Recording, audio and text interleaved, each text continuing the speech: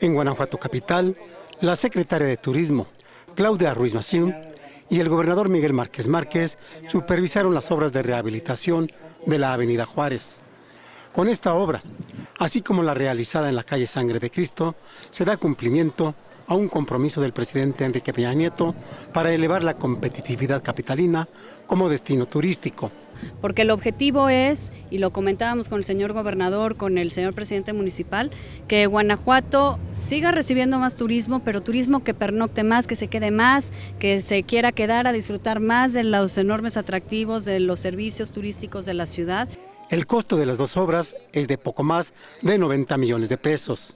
Los cuales son poco más de 60 de la federación, ahí estamos el municipio y estado, 16 millones cada quien, para que este compromiso ya el presidente pueda venir a inaugurar.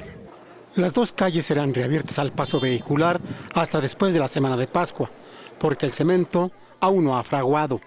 Con imágenes de Juan Regalado, Salvador Contreras, reportero, Noticieros Televisa.